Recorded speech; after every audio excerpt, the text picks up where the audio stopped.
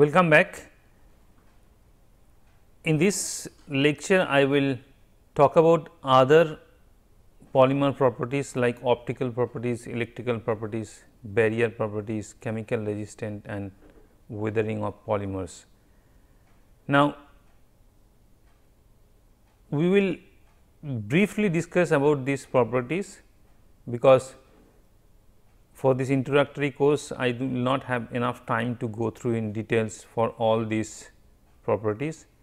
Hence, my plan is to go through these properties quickly and briefly. If you look at this chart, we have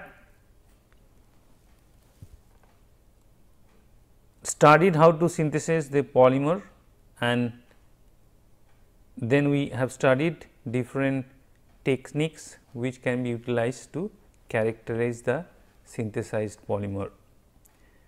And then we discussed also different properties like mechanical properties, thermal properties, rheological properties and viscoelasticity. We did not discuss these properties in details because, uh, because we lack of time and these are the properties of polymer which must be characterized before we think about any application. So, the, these are inherent properties in a polymer sample.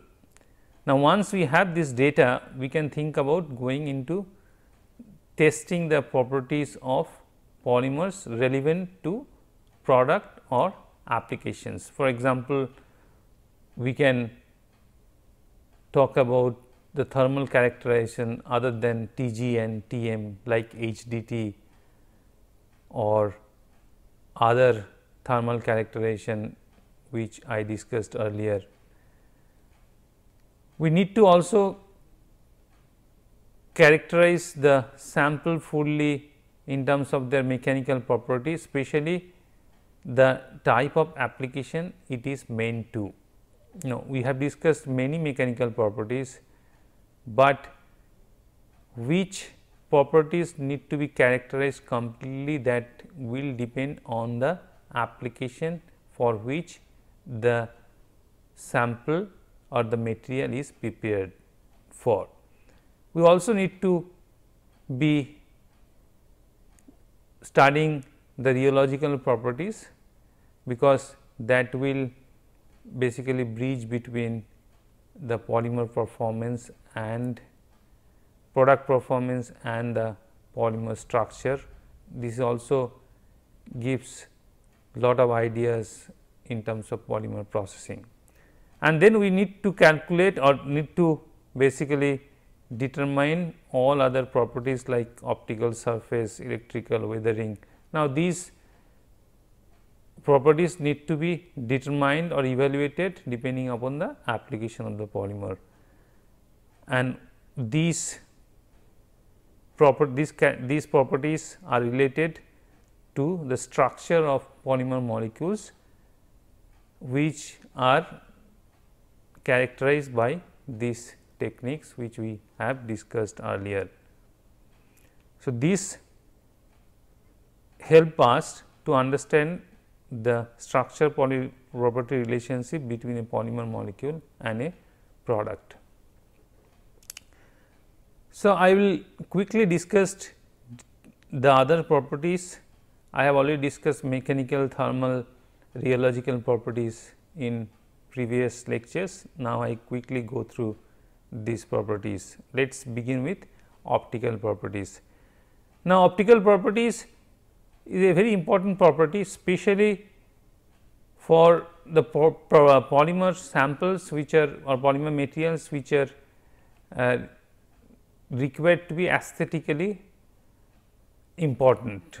For example, if we are using a um, bottle then obviously if it is a clear then it, it appeals more than if it is a dark. There are other examples like if we are using several application where we require complete transparent plastic material or polymer material, then obviously transmission is a very important property for that particular sample. Similarly, we have several other aspects or different property within optical properties like transmission as I discussed, refraction, reflection, scattering, absorption, clarity, haze, gloss, yellowish index, stress optical coefficient, present, color. There are several things depending on the application we need to characterize for the polymer sample. Now, before we discuss the optical properties, we need to find out or we need to understand what happens when light travels through a material or when light interact with material. Invariably, there will be loss of intensity due to surface scattering or reflection and due to the bulk scattering or extinction. So, let us talk about the surface scattering. This surface scattering happens because of the rough surface and this actually reduce clarity and also increase haze in the polymer sample.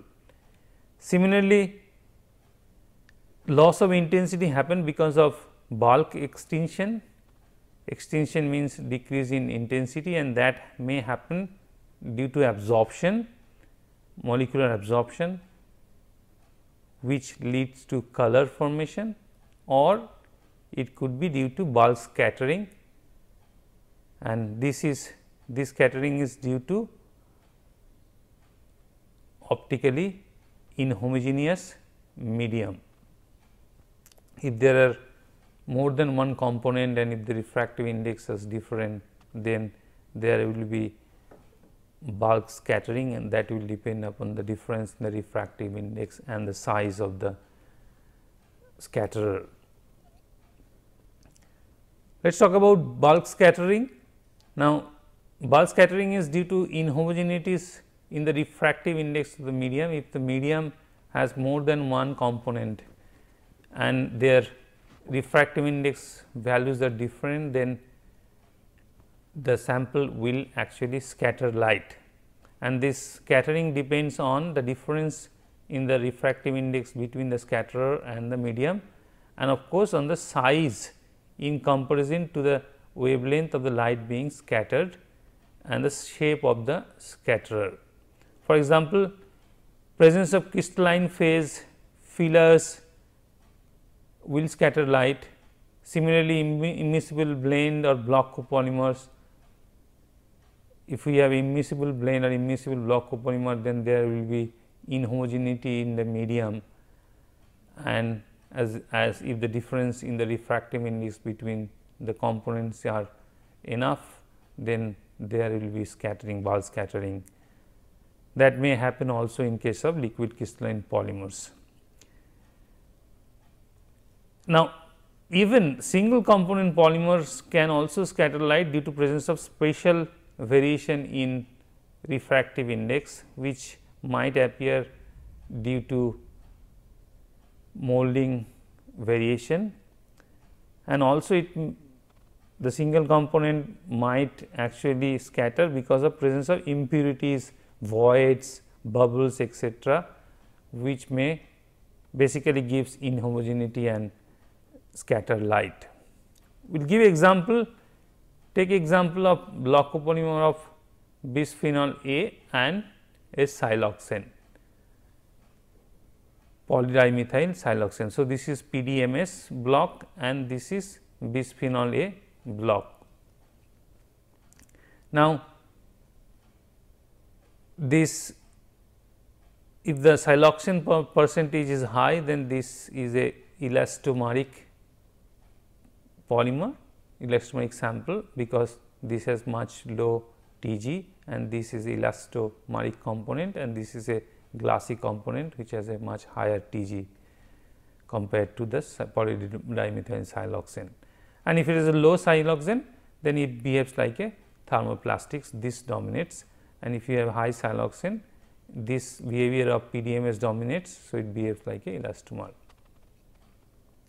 Now, the refractive index of PC is 1. Point, PC means this part is 1.58 and PDMS is 1.4 which is having a significant difference between these two component.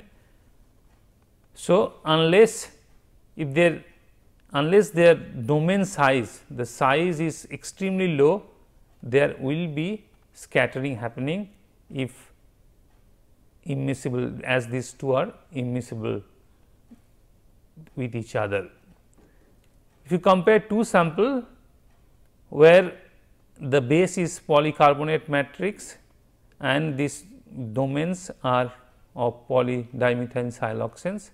In this case as you can see the size is the size of the polydimethyl siloxane domains are higher compared to this sample where the size of these domains for PDMS domains is much lower compared to this. So, if you look for the optical properties for a pure bisphenol A polycarbonate when these domains are not present the light transmission for a 3 millimeter thick sample is greater than 88 percent and haze percentage haze is about 1 percent.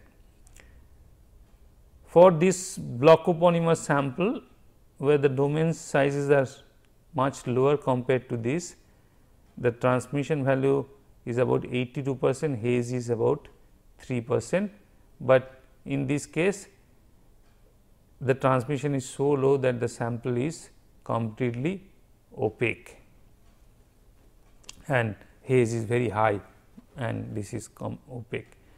So, this means that the scattering and as a result of that opacity or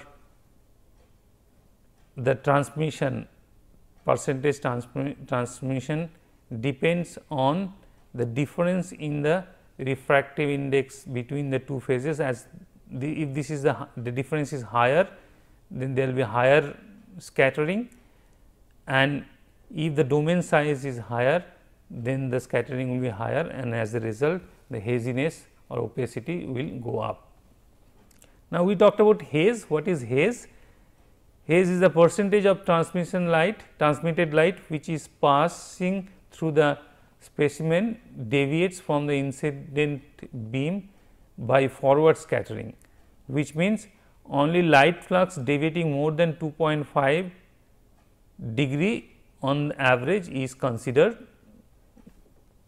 and it characterizes the loss of contrast that results when the objects are viewed through a scattering medium. So, if you take a plastic material and through and view through it, the loss of contrast is related to the percentage haze in the sample. And percentage is or haze is caused both by surface and bulk scattering. And surface scattering can be minimized by weighting the surface which will basically uh, minimize the roughness. And we can also use a liquid of similar refractive index of the polymer material which will also reduce the surface scattering and as a result increase the transparency or reduce the haze. We often use the term clarity. What is the actual meaning of clarity? Clarity is the ability of the sample to transmit the fine details of an object viewed through it. So, if you are viewing through a polymer glass or then this ability to transmit the fine details of an object is related to the clarity of the polymer sample through which we are viewing and it relates to the reduction in resolution. So, you can see this graph to understand this, uh, this sketch to understand this. It is strongly related to angular distribution of scattering intensity. Maximum clarity is achieved by minimizing the size of the scattering center. It is also affected by the distance between object viewed and the sample as it is related to the angular distribution of the scatter intensity. Clarity is negatively affected by light absorption and scattering.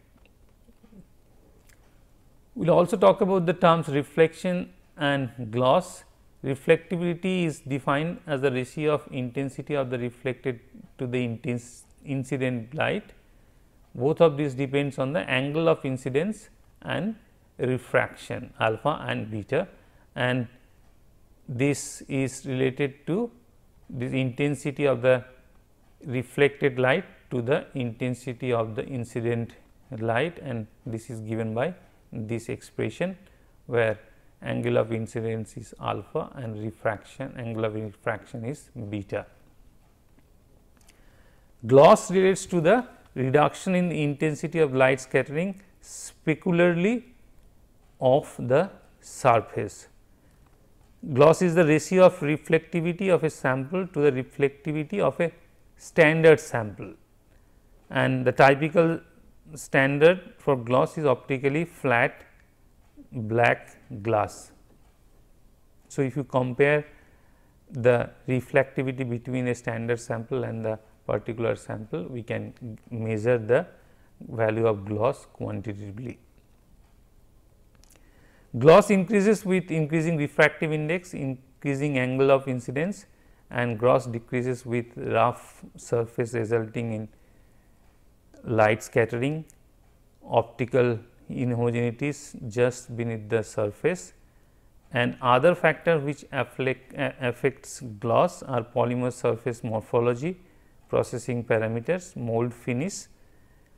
For example, blending with rubbers usually lead to decrease in gloss value in case of crystalline polymers like polyethylene. There is also another term related to optical properties is birefringence. This is related to the optical phenomena which in which a sample exhibits different refractive index for plane polarized light in two perpendicular direction. If we use two differently plane polarized light and if it is so different refractive index for those two light those two plane polarized light, then we call the sample have birefringence and this happen if the polymer contains crystalline phases because the refractive index will be because they are aligned crystalline phases are aligned in a particular direction hence the uh, refractive index towards different plane polarized light will be different if the polymers have crystalline domains. For example, if I have this type of polymer for like bisphenol A, then this in this direction the polarizability is higher, whereas in a other transverse direction the polarizability is lower. So, we have a birefringent. So, in macroscopic way we can actually look for the refractive index values in two direction. If they are not equal, then the polymer sample shows birefringence. We will move to next uh, property electrical property and again I will just briefly touch these properties. Most uh, common polymers or commodity polymers are insulating dielectric and this is very advantageous because polymers are used for many applications as electrical electric insulators and as a result polymer dielectrics are used in capacitors, low conductivity charge storage device and as a insulator which require low conductivity and should not store charges. So, typical value of uh, polymers are insulated 10 to the minus 15 Siemens per centimeter, whereas conductor which are metals have very high conductivity values. And recently not very recently, but about few decades back conducting polymers were discovered and they have a conductivity value around this region and some of these example of some conducting polymers are shown here like polyaniline, polypyrrole, polythiophenes. And these they actually do not uh, conduct or behave like conducting polymer as such, but when they are doped for example, if polyaniline is doped with a uh, proton or acidified then it shows conductivity because of the movement of electron through backbone due to possible resonating structures. We will now discuss about barrier and permeability in polymers. This is also very important because in several cases the the container must be barrier having barrier property to several uh, gases. For example, if we are using uh, a vial of a drug, then if the drug reacts with oxygen, then the storage time will of that particular drug will depend on how good is the vial's barrier property if it can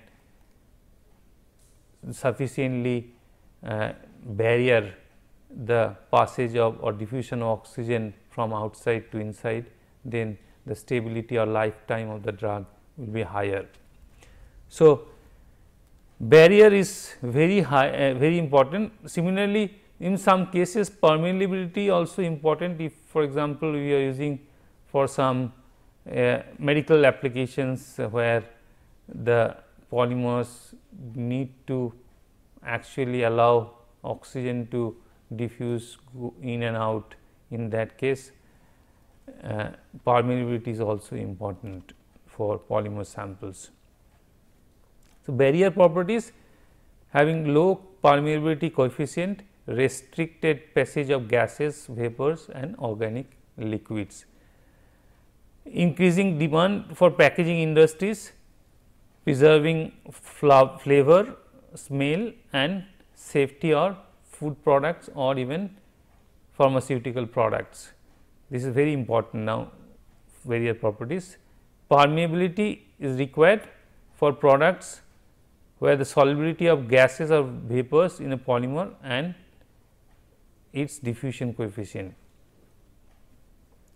So, permeability of a polymer sample depends on the solubility of the gas or vapor in that polymer matrix and the diffusion coefficient of the gases or vapor through the polymer matrix.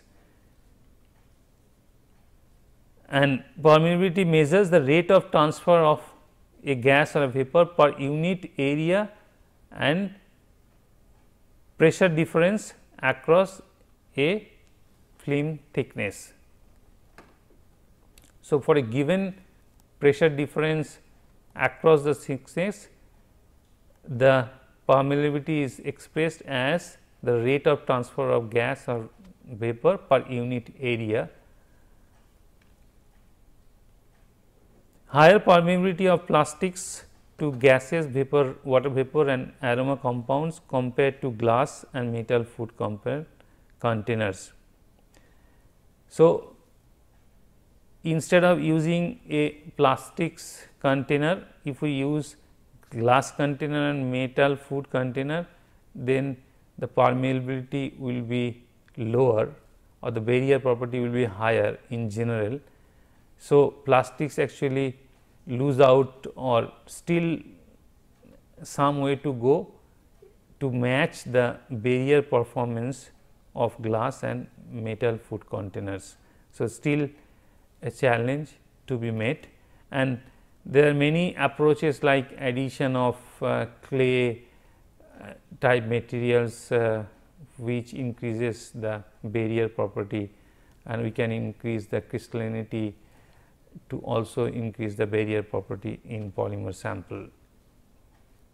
We talk about diffusivity, diffusivity depends not only on the molecular structure, but also on the crystallinity and crystal morphology of the polymer sample. Higher the free volume obviously the space is higher. So, how, how higher will be the diffusivity, higher is the crystallinity, lower would be diffusivity as uh, one can easily understand.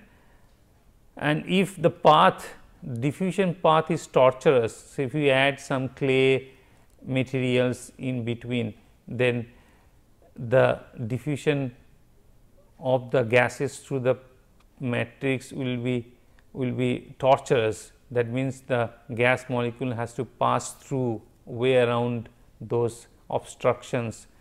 So, the length of uh, uh, basically diffusion length will be much higher compared to a pure matrix where these uh, obstructions are obstacles are not there.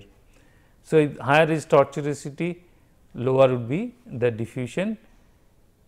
Increase in the increase with the decreasing gas, uh, decreasing size of the gas molecule. Obviously, this is understandable if the size of the gas molecule decreases then diffusivity will increase. For example, transmission rate is given in the this order as the size increases the diffusivity comes down. Solubility of the gas depends on the chemical affinity of different molecular species as we have seen that these two factors in combination determine the barrier property or permeability of the sample. So, if you want to the polymer samples to be effective as a barrier pro property, we need to decrease the solubility and decrease the diffusivity of the gases through the polymer matrix. Next, we will move to the next property uh, chemical resistance. Now, chemical resistance is the resistance of polymers to various chemicals and which depends on the number of criteria which includes chemical structure, solubility of the polymer in the experimental chemical. Obviously, if the polymer is more soluble, the chemical will have chance to degrade or interact with the polymer more you know more than if it was not soluble. Crystallinity morphology crystallinity will obviously prevent these chemicals to interact with uh, polymer chains hence resistance will be higher. If they are molded in stress that means during the mold molding process if stress is uh, is built up um, and it is not released then those places which acts as a uh, kind of a crack. And uh, when you apply a external chemicals harsh chemical those uh, stress will actually uh, will cause will basically facilitate the breakage of the polymer sample in, when it comes in contact with the harsh chemicals and time of course, the higher is the time higher will be the uh, or lower will be the resistance and temperature if the temperature is higher lower will be the resistance. Stress obviously if we apply more stress the condition will be harsh then the resistance will also come down. Obviously, if the concentration of the chemical is higher then the resistance of the polymer sample will be lower and types of exposure obviously if it is whether you are taking the sample and immersing in the chemical or you are just contacting that will also determine the exposure uh, the chemical resistance of the sample. Now, chemical what it may cause on chemical exposure it may result in physical degradation for example, stress cracking crazing, softening, swelling, discoloration. These are the physical uh, degradation in terms of loss of physical properties. Uh, it can also degrade chemically that means it can decrease or it can degrade the chemical nature of the polymer, decrease the molecular weight and can react with the chemical and as a result it can decrease the properties good properties of the polymer.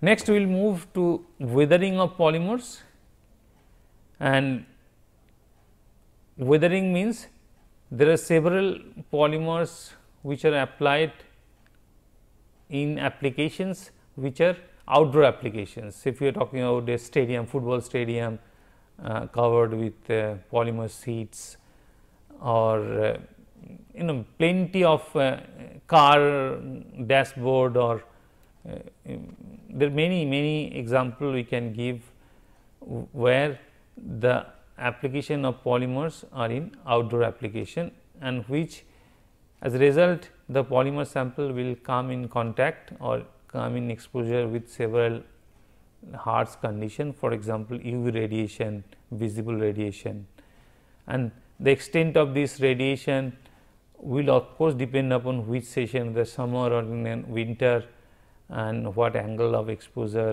what latitude we are in, which part of the world we are in that will. So, basically the you know the plastic or the polymer will behave differently at different places or different session. The other factors which uh, causes uh, of polymers, weathering of polymers mean degradation of um, polymer properties, their heat and uh, thermal cycling, air temperature these also cause the polymer samples to lose its uh, good property. And another important factor is moisture when we are using the polymers in outdoor application then the amount of moisture in the environment will also affect polymer properties and the amount of moisture is basically affected by the amount of rain or condensation or humidity in the medium. The, the more is the more humidity it is bad for the polymer samples and the, the actually the property gets degraded faster in a higher humidity environment. Other factors like acid rain pollutants they also actually degrade the polymer samples and um, as a result uh, polymer good properties of polymers actually get destroyed. Sometimes mechanical stresses uh, abrasion also may cause damage to the polymers and the importance of these factors are in this uh, direction. So, decrease importance for example, the UV radiation is very highly important for outdoor application because because of the high energy of the UV radiation they actually cause lot of damage and then heat and then moisture and, and this this uh, direction and because this is a very subjective evaluation and it depends upon various factor. So, weathering of polymers uh, no uniform test condition is applicable and uh, there are some indicative um, test conditions are uh, suggested by different standard organization and those are followed those are followed uh, in laboratory. So, with this I will uh, stop uh, this lecture and next lecture I will talk about the other property few other properties.